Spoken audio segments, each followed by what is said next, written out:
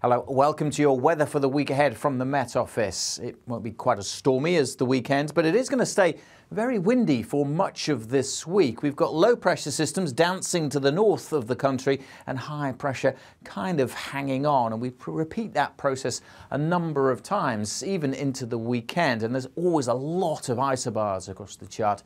Uh, so it is going to be pretty blustery.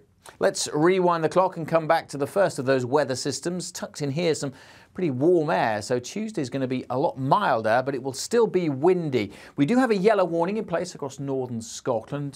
The wind's not as strong at the weekend, but because of the damage from the storms, there is the potential for further disruption from the winds here a breezy day across the south, quite a cloudy day. There'll be rain at times for Northern Ireland, parts of northwest England, North Wales and the Midlands. Lots of showers across northern Scotland blown in on that gusty wind, but some sunny spells in between. And it will be mild.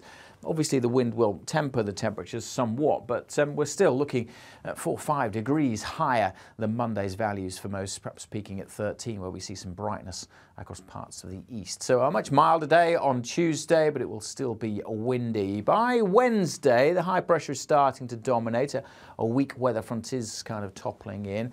So Wednesday may feel a bit like Groundhog Day with a lot of cloud across the country and some rain at times for Northern Ireland, northwest England, maybe southwest Scotland as well. Uh, further south, mostly dry. Could see some breaks in the cloud on Wednesday, a hint of sunshine, and it won't be as windy in the far northeast. Just a bit of a breeze blowing on western coasts. But again, it's going to be mild, 10, 11, maybe 12, perhaps 13 if we see some sunny spells across the south into Thursday, and we're kind of tucked in with some warm air in this warm sector, another area of low pressure heading to the north of Scotland. Now, this weather front is going to be pretty active later on on Thursday, getting into western Scotland and Northern Ireland during the day.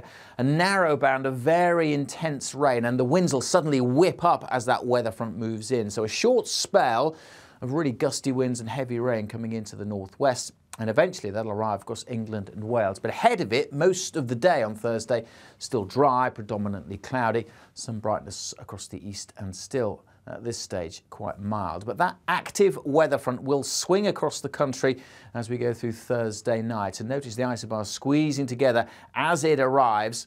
And it's also a cold front, so sweeping away the mild air that's in place for the next few days. It turns much colder through Thursday night and a much fresher feel on Friday. Uh, a more wintry feel, you might say. Again, a lot of isobars on the chart, so still windy and showers coming in and turning more and more wintry through Thursday night and Friday. Initially over the hills of Scotland, but the showers on Friday, even to low levels across parts of northern England, we could see some snow coming in and certainly plenty over the hills and the higher routes so with gusty winds. That could mean blizzards and potential for icy conditions as well. Temperatures could get to 9 or 10 for a time in the south, but generally feeling colder, temperatures dropping through the day and a significant wind chill on Friday as well. So a brief wintry blast, perhaps on Friday with that cold air in place and fairly strong winds, but then we see another warm front reintroducing milder air and again that balance between low pressure system to the north, high pressure to the south as we go into the weekend. So a cold spell for Friday but it's not expected to last too long and certainly some gusty conditions throughout this week.